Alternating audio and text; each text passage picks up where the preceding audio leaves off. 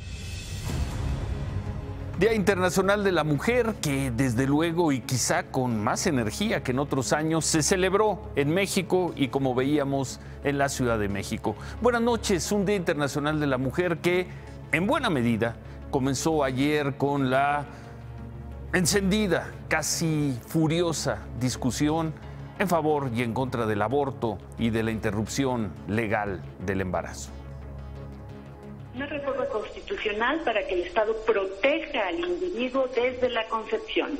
Y sería muy interesante porque... Por supuesto que estoy a favor. Aborto legal. Por supuesto que estoy a favor. No vengan a imponerme un trapo verde que para mí significa la muerte a mi escaño, porque yo represento a muchas personas que creemos que el aborto es un asesinato de una persona.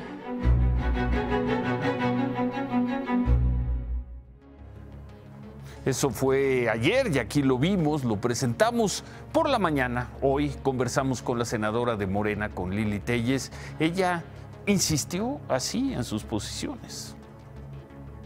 Creo que una mujer que aborta está castigándose a sí misma en una forma muy severa el aborto es ya la, pena más dura a la que se somete ella misma. Si se castiga ella misma es un asunto que tendría que ver con un terapeuta o con un analista. Es una criminal. Puesto en ese término, si asesinas a, un bebé, es una criminal. Pues la senadora fue más allá, la senadora Lili Telles criticó que la interrupción legal del embarazo sea vista como un programa de salud pública, como ocurre y ocurre exitosamente desde 2007 en la Ciudad de México. Desde entonces se han llevado a cabo poco más de 205 mil interrupciones legales del embarazo en la capital. Lili Telles nos dijo también que ella quiere acabar con ese derecho, acabar con la ley de la interrupción legal del embarazo en la Ciudad de México una reforma constitucional para que el Estado proteja al individuo desde la concepción. Y sería muy interesante porque representaría la primera vez que la Ciudad de México se vería influenciada para cambiar la constitución eh, por los estados, que de los estados haya una influencia para que la Ciudad de México corrija el rumbo que ha tomado que la Ciudad de México corrija el rumbo que ha llevado senadora de Morena, Lili Telles. Este debate del aborto llegó hasta Palacio Nacional con el presidente López Obrador.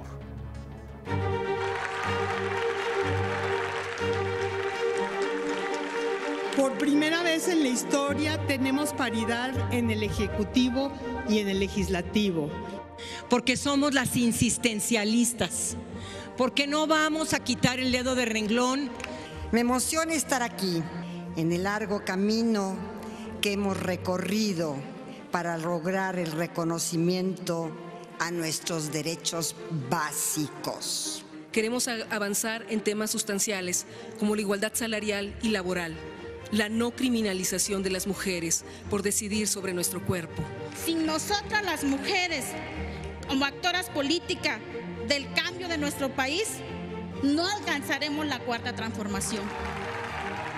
Las mujeres se celebraron con alegría y dejaron fuera los temas polémicos de los últimos días en el festejo oficial por el Día Internacional de la Mujer. Hasta que habló el presidente. Estamos viviendo un momento histórico, interesante. Entonces un grupo de mujeres con mantas de protesta que habían permanecido detrás de los asistentes se colocaron frente a él. Y el presidente que hablaba de su triunfo electoral y su movimiento tuvo que acusar recibo. No podemos muchas veces, como se quisiera, pronunciarnos eh, de manera contundente. No lo podemos hacer porque este es un movimiento democrático, no lo olvidemos. Y nosotros representamos a todos los ciudadanos. Le tuvimos que gritar a Manuel López Obrador que no es posible que no reconozca todo lo que han aportado desde hace décadas los movimientos amplios de mujeres los movimientos feministas, así como no reconoce lo que ha aportado el movimiento sindical, campesino o ambientalista.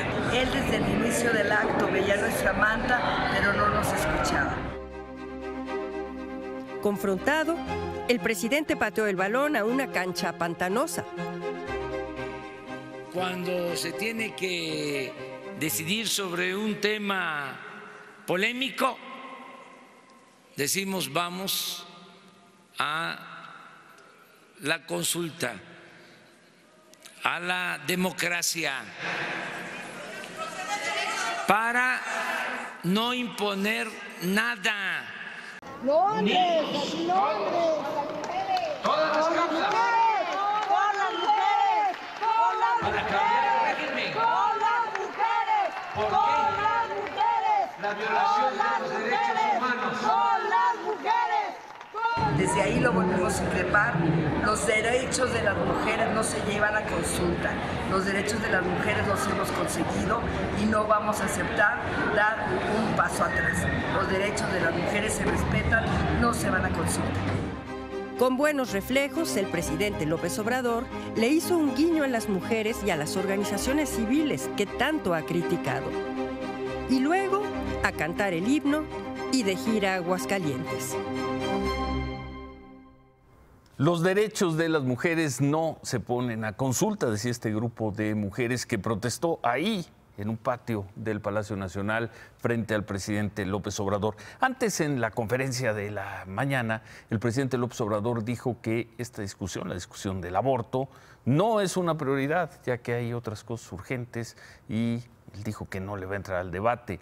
Le hizo segunda el coordinador de los senadores de Morena, Ricardo Monreal, quien dijo que también para la bancada de ese partido, la bancada mayoritaria, no es prioridad. Entonces, pues veremos muchas discusiones entre senadoras como Malú Micher y en contra de las posiciones de senadoras como Lili Telles, pero el presidente hoy en el Día Internacional de la Mujer mandó con claridad el mensaje de que él no se va a meter en la discusión del aborto y que no es una prioridad. Así que habrá ruido, habrá discusiones, pero con Morena, un partido de izquierda, con mayoría en las dos cámaras, muy difícilmente se legislará en favor de la interrupción legal del embarazo, muy difícilmente se legislará como lo hizo el gobierno de Marcelo Ebrard en 2007 en la Ciudad de México. Ya veíamos al inicio del programa imágenes de la marcha que tuvo lugar en el centro de la Ciudad de México por el Día Internacional de la Mujer. En la tarde, cuando la manifestación llegó al Zócalo, ocurrió esto. Un grupo comenzó a gritar a testigos de Jehová que se encontraban predicando ahí.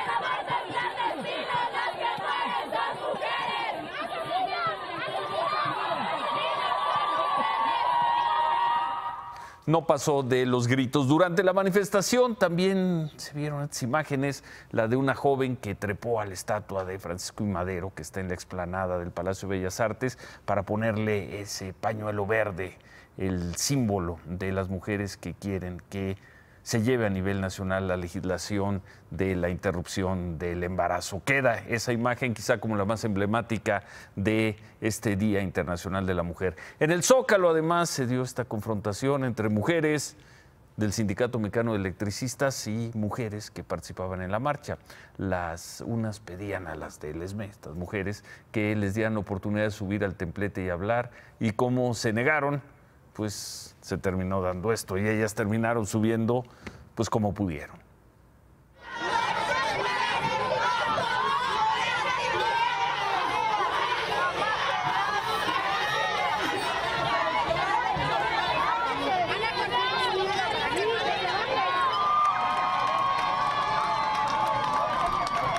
Tampoco pasó a mayores. Día Internacional de la Mujer. Queda este debate que se abrió ayer, que siguió hoy sobre el aborto y la interrupción legal del embarazo, pero, repito, después de escuchar al presidente López Obrador, difícilmente las mayorías, difícilmente las mayorías de Morena llevarán esta legislación, la legislación de la Ciudad de México, a todo el país.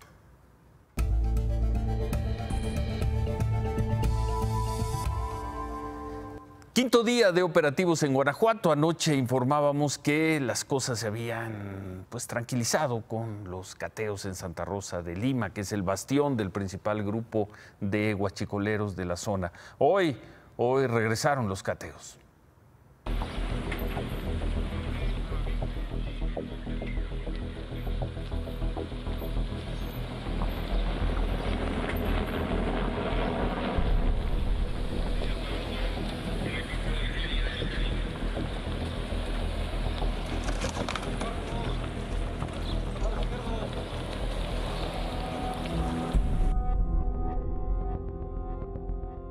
Al amanecer el pueblo de Santa Rosa de Lima se encontró con la reanudación de los cateos.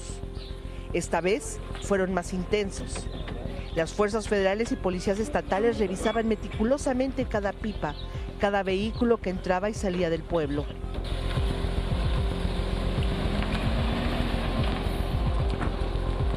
La formación de los marinos y policías en la entrada principal a Santa Rosa de Lima marcaba el inicio de un operativo especial. Algo concreto buscaban. Nosotros ya estamos aquí desplegados. Eh, si nos sorprende por aquí, ya estamos desplegados. A las 11.30 de la mañana llegaron los elementos de la Agencia de Investigación Criminal. Ellos y sus peritos encabezarían el cateo de un domicilio ubicado a tan solo 50 metros del retén de revisión.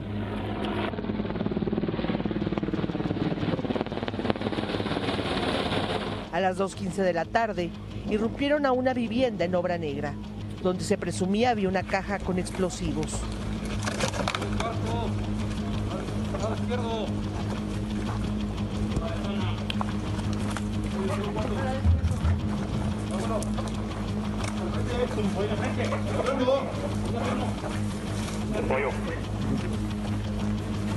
Una casa pequeña con un solo cuarto y techo de lámina. Estaba habitado por una mujer y sus dos hijos. El explosivo fue localizado en el exterior de la casa. Debajo de un arco de tabiques, en una caja de cartón envuelto en plástico y aislantes.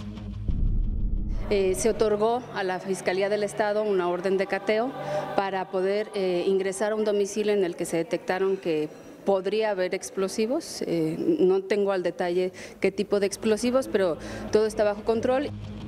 Luego llegó el equipo antibombas del ejército.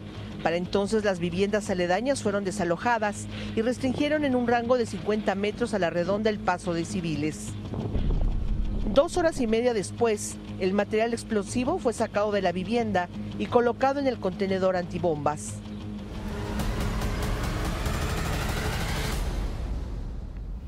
La vivienda fue asegurada por la Marina, se le colocaron sellos de la Fiscalía General de Guanajuato. En simultáneo a este cateo, los agentes de investigación criminal de la Fiscalía de Guanajuato catearon una casa en la comunidad de Torrecillas, también ahí en el municipio de Villagrán, ahí no se detuvo a nadie y también esta noche siguen, siguen los cateos en zonas residenciales de Celaya, en los límites con Villagrán. Se cateó, por cierto, se informó que se había cateado esto, la suegra del líder, el supuesto líder de los huachicoleros, el Marro, la casa donde vive o dicen que vivía la suegra del el señor Yepes, a quien apodan el Marro. Anoche informamos que Alfonso Durazo, el secretario de Seguridad, dijo que el Marro, líder del cártel de Santa Rosa de Lima, se escapó. Por eso se intensificaron los operativos de búsqueda a otros municipios. En Irapuato, agentes ministeriales catearon al menos cinco domicilios, esto en el fraccionamiento del bosque. En el municipio de Cortázar, helicópteros de la Marina sobrevolaron las colonias del Valle Laurel. Hasta el momento, pues nada se ha informado sobre el resultado de estas acciones. Por cierto, revisamos los números de asesinatos que se han dado en las últimas semanas en Guanajuato, de acuerdo con datos del periódico Correo la semana pasada, entre el 25 de febrero y el 1 de marzo se registraron 69 homicidios en todo el estado. Desde el lunes que comenzaron los operativos hasta esta noche se reportan 50. Falta un día, pero pues hay una baja de 27%, por, de 27 en homicidios. Y en más sobre estos temas, hoy se volvieron a registrar ataques a policías en Chihuahua otra vez. Esta mañana en Gómez Farías fueron atacados policías estatales murió un comandante y otros dos agentes. Además, los, pues los agresores quemaron una patrulla y varios vehículos. Después del ataque, soldados y policías federales aplicaron un operativo para dar con los agresores. Hasta hace unos minutos no habían dado con ellos. En la Ciudad de México, la historia, el registro de todos los días. El conductor de un automóvil, ahí lo estamos viendo, un automóvil Ibiza, blanco, fue asesinado en calles de la colonia Morelos, en la alcaldía Venustiano Carranza, en el centro de la ciudad. Dos hombres que iban, otra vez, que iban en una motocicleta, se le emparejaron en el cruce de Circunvalación y Avenida Ferrocarril de Cintura, lo mataron y huyeron. Hoy fue liberado Alexis Martínez, mejor conocido como el Alexis, supuesto líder de la Unión Tepito. Este joven fue detenido hace una semana junto con otras tres personas en un conjunto residencial de San Jerónimo en la alcaldía de Álvaro Obregón. Los, los fueron detenidos por agentes de la Fiscalía General de la República, pero en la audiencia de hoy, ¿qué pasó? que el juez solo acusó a Alexis de posesión de droga y como es un delito que no merita prisión preventiva, quedó libre garantizando 20 mil pesos. Así las cosas en el sistema judicial.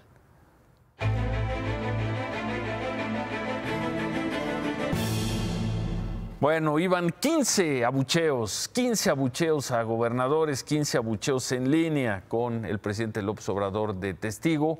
Y anoche nos preguntábamos o adelantábamos de que se podría dar el caso 16, si es que recibía abucheos el gobernador de Aguascalientes.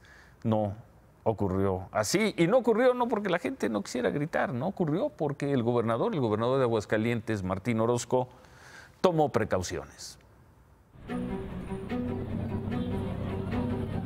Sin escapatoria a los abucheos en los mítines que los llamados servidores de la nación le organizan al presidente López Obrador, los gobernadores de oposición habían recurrido al pataleo tuitero, a la resistencia, a los elogios, al voto de silencio, al señalamiento frontal de que esto es un protocolo partidista. Nadie había faltado a la cita, hasta hoy, cuando el gobernador panista de Aguascalientes se limitó a darle la bienvenida al presidente en el aeropuerto para de inmediato anunciar que él no sería personaje del circo. Los gobernadores, no por nuestra persona, sino por la investidura que tenemos, no debemos prestarnos al juego de grupúsculos que quieren divertirse como si la visita del presidente fuera la llegada de un circo romano a la entidad. La ausencia del gobernador Martín Orozco no eliminó la guerra de consignas porque ahí estallaron los cuestionamientos a lo que los morenistas consideraron una falta de cortesía. También llegaron los damnificados de la 4T.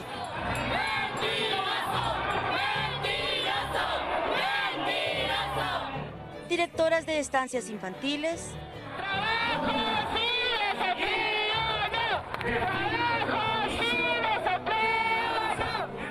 Del desaparecido programa Progresa, funcionarios que ya no lo son.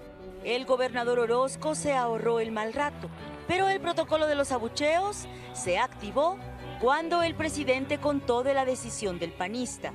Si no está aquí el gobernador es porque se convino, llegamos al acuerdo de que era mejor, era mejor por lo que ha venido pasando, no eh, prestarnos a un mal rato, que era mejor actuar con prudencia. Pero aprovecho para decirles que el gobernador de Aguascalientes se ha portado muy respetuoso con nosotros y les pido que respetemos las autoridades.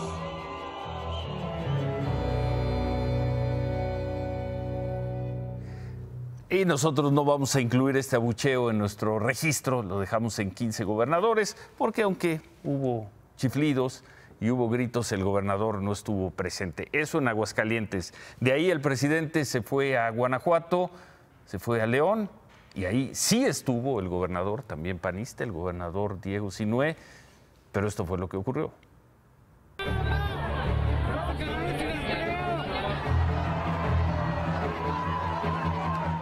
De Aguascalientes, el presidente se trasladó a León, donde otro gobernador panista, Diego Sinué, lo esperaba acompañado de su propia porra.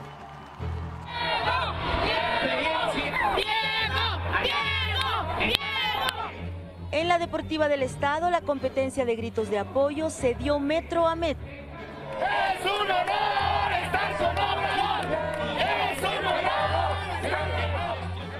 Y el guanajuatense salió ileso.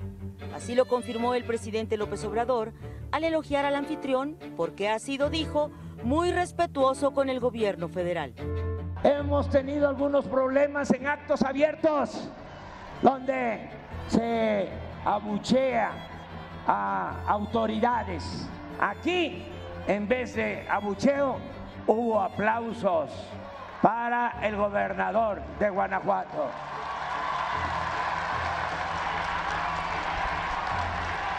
La libró Diego. Porque aquí los abucheadores callaron. Decía José Alfredo, aquí en Guanajuato, como dice su canción, se respeta al que gana. Y el presidente ganó y lo respetamos, pero también yo gané. Y aquí también se respeta.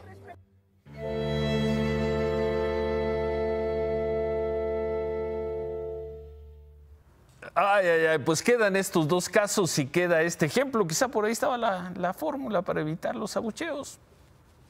Que hubiera mucho ruido, que a los abucheos le siguieran porras, cosa que no creo que le cueste mucho trabajo a ningún gobernador en ningún estado de la República. Como sea, dos gobernadores panistas, uno la libró porque decidió no presentarse y al otro, pues a juzgar por esta crónica, esta espléndida crónica de Ivonne Melgar, no solo la libró, sino le fue muy bien. Mañana el presidente López Obrador estará en otro estado gobernado por la oposición, ni más ni menos, va a estar en Jalisco. Y ahí va a estar el gobernador Enrique Alfaro, quien dijo que él sí estará en el acto con el presidente. Por cierto, esta mañana, hablando del presidente, unos mariachis protestaron afuera del Palacio Nacional. Fueron a pedirle al presidente López Obrador que los ayude para que las autoridades de la Ciudad de México permitan el consumo de alcohol, increíble, permitan que se consuma alcohol en la plaza de Garibaldi, en la plaza, no solo en los locales, sino también en la plaza. 2019 y eso es lo que piden los mariachis de Garibaldi.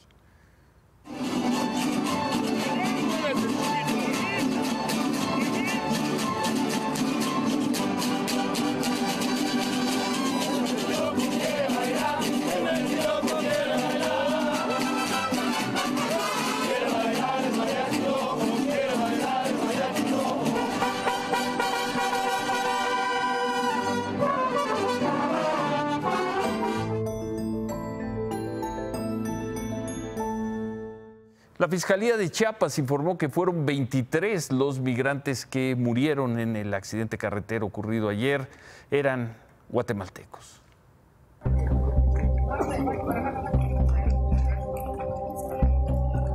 Ayer a las 6 de la tarde, un grupo de 56 migrantes indocumentados se accidentó en la carretera Soyaló-Chicoacén, en Chiapas. 23 de ellos murieron, entre ellos dos niños de 2 y 7 años. La Fiscalía de Justicia de Chiapas explicó que los migrantes entraron a México el lunes en un municipio de frontera con Malapa. De ahí viajaron a Comitán y después a San Cristóbal. Para seguir su ruta rumbo al norte del país, decidieron tomar la carretera libre y no la de cuota. Pretendían evitar los retenes de la policía estatal que están en las entradas de Tuxtla Gutiérrez. A la altura de Francisco Sarabia, en el municipio de Soyaló, el camión de redilas de 3 toneladas en el que viajaban cayó al barranco. El vehículo tenía placas de Tabasco y según los migrantes que han declarado, el chofer se dio a la fuga. No se encontró al conductor, eh, me refieren ellos que quedó lesionado, refieren que eh, fue auxiliado por otras personas que también iban en la parte de adelante con otro vehículo, ¿no? este, que iban quizá otras personas que se dedican al tráfico de inmigrantes eh, que normalmente van en la delantera con un vehículo compacto.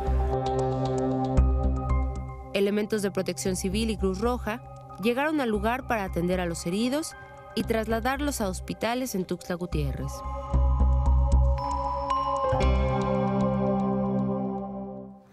Los cuerpos de estos migrantes fueron llevados al Servicio Médico Forense de Tuxtla Gutiérrez. El presidente de Guatemala, Jimmy Morales, aseguró que, aseguró, hizo en Twitter, que ya están apoyando a los familiares de las víctimas. También hubo un tuit de condolencias por parte del canciller Marcelo Ebrard.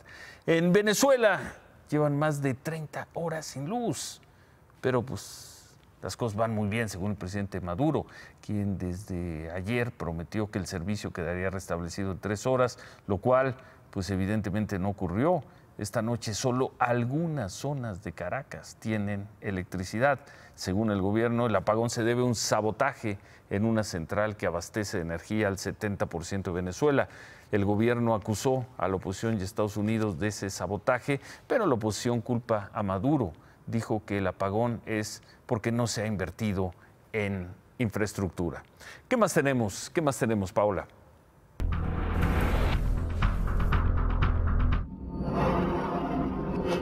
El metro de la Ciudad de México transporta a 6.000 personas diariamente en las 12 líneas que lo conforman. Por el uso y el poco mantenimiento a las instalaciones desde hace más de 20 años es que se presentan cada vez más fallas. Solo 4 de cada 10 metros que circulan por toda la ciudad funcionan de manera adecuada. El sistema de transporte colectivo tiene 384 trenes. De estos, 100 están parados por diferentes motivos y no dan servicio. 132 están circulando y necesitan mantenimiento urgente porque ya superaron los 850 mil kilómetros recorridos. Solo 152 trenes circulan de manera adecuada. La directora del metro, Florencia Serranía, reconoció que hay trenes que están circulando pero les hace falta mantenimiento. Dijo que están trabajando para tener la mayor cantidad de trenes operando en buenas condiciones. Lo que nos importa muchísimo es que cada peso que se utilice en el metro se vea reflejado en el servicio al usuario.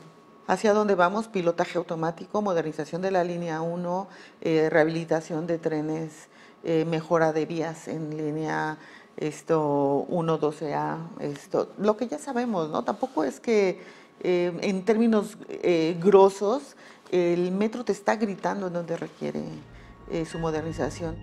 La jefa de gobierno de la ciudad, Claudia Sheinbaum, fue captada por una usuaria de Twitter adentro del metro de la línea 2. Sheinbaum explicó que se sube a las 5 de la mañana en la estación General Anaya su recorrido le sirve para checar cómo está funcionando. Pues ya tiene rato que me voy en el metro eh, dos o tres días a la semana, dependiendo. Pues me interesa supervisar cómo está el metro, cuál es la circunstancia. Eh, pues hay muchos problemas que tiene el metro todavía.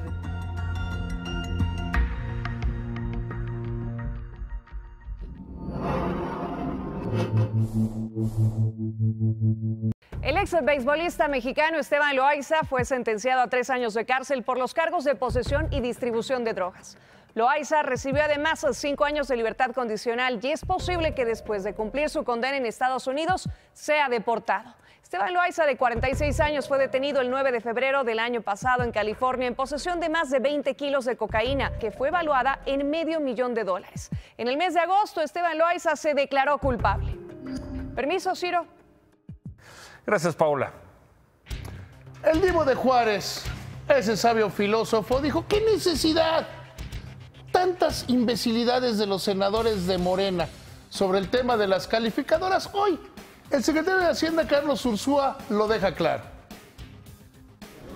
Más tarde que nunca, si no resolvemos el problema, va a empezar a dañar la deuda soberana, la deuda de todo México. Eh, este, entonces, para nosotros sí es muy importante tratar de ayudar lo más que se pueda a Pemex.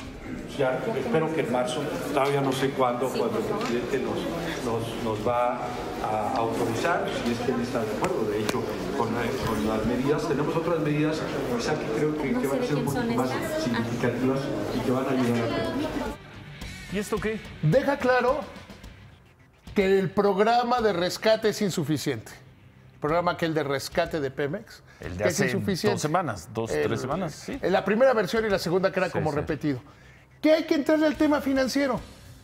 Ah, no, repite Carlos Ursúa algo que ya había dicho el subsecretario Herrera, en el sentido de que hay que entrarle al tema financiero de petróleos mexicanos y que esperan este mes tener el programa financiero. ¿Qué decían las calificadoras?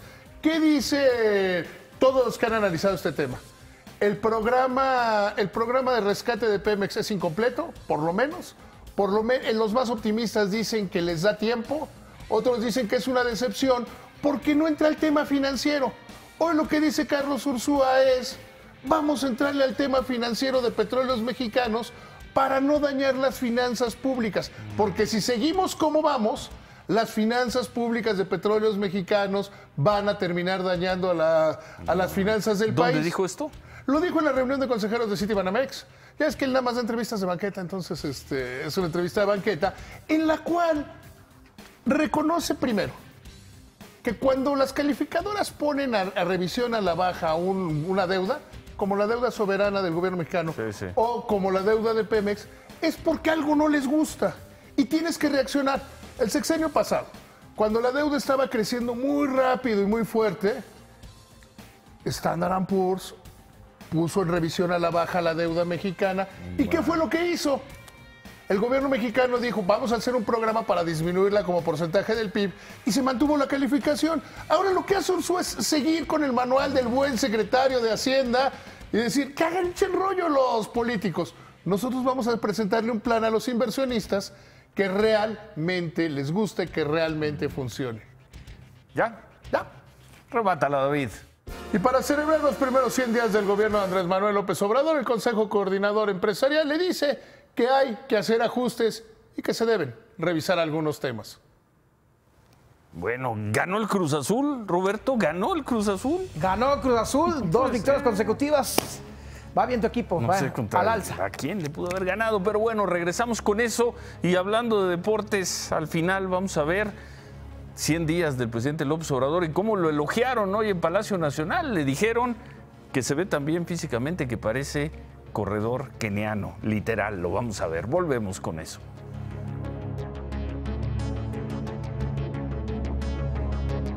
De lo mucho que ha ocurrido en estos casi 100 días de gobierno, nada ha sido más llamativo, exitoso y taquillero que las conferencias matutinas. En eso sí, México se convirtió en un país único en el mundo.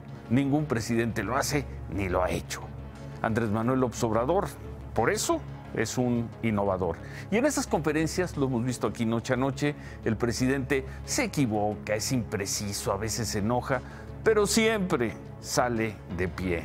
Siempre. Son las ventajas de jugar de local. Muchos mexicanos estamos muy preocupados y ocupados también Y esto más que nada lo ha dicho usted muchas veces que va que va a terminar, que está bien, pero aquí estoy hablando de su salud, sabemos que está muy bien, al contrario, yo creo que todos queremos saber qué hace, qué hace si usted utiliza algún método alternativo, si utiliza eh, cámaras hiperbáricas, tiene mucha energía de verdad y usted es como, como un corredor keniano, o sea, realmente lo hemos visto ni siquiera con un resfriado. Y muchas personas nos preguntan y nosotros mismos nos preguntamos qué es lo que hace. Gracias, señor presidente.